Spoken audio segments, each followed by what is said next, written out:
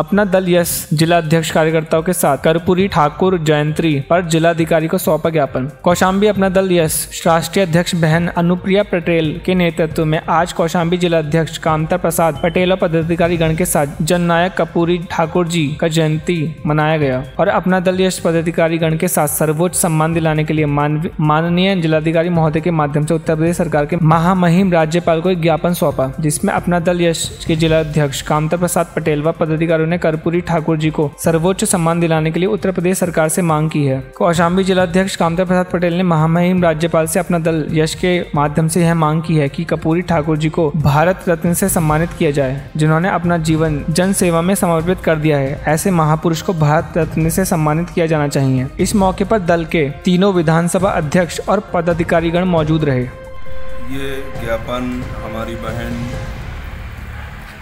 राष्ट्रीय अध्यक्ष माननीय बहन प्रिया पटेल जी के आदेशानुसार पूरे उत्तर प्रदेश के सभी जिलों में जिला अध्यक्षों द्वारा ज्ञापन दिया जा रहा है। ये ज्ञापन हमारा उद्देश्य है कि जननायक कर्पूरी ठाकुर जी जो अपने कार्यकाल में दो बार मुख्यमंत्री बन चुके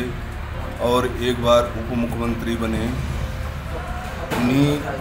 के जो कार थे, हमेशा जन का साथ देना, उसी उद्देश्य से उनको जननायक भी कहा जाता है। आज हम अपनी पार्टी, अपना दल एस के तत्वाधान में जिला जिला अधिकारी महोदय को माननीय महामहिम राष्ट्रपति महोदय जी के को ज्ञापन देने का काम किए। ये ज्ञापन का उद्देश्य है कि ऐसे महान नायक को आज जो कहीं उनका बहुत विशेष में नाम नहीं लिया जा रहा है तो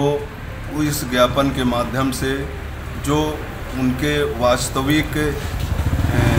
हक हैं, अधिकार हैं, उस अधिकार को भारत रत्न से सम्मानित किया जाए, उस अधिकार को उन्हें दिया जाए, ये हम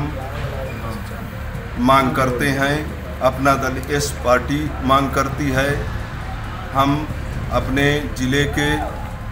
सभी जिला पदाधिकारियों के साथ आए हैं और माननीय जिलाधिकारी महोदय जी को ज्ञापन क्या नाम है और क्या पद है आपका? मैं मैं कामता पटेल अपना दल जिला अध्यक्ष अपना दल को शामिल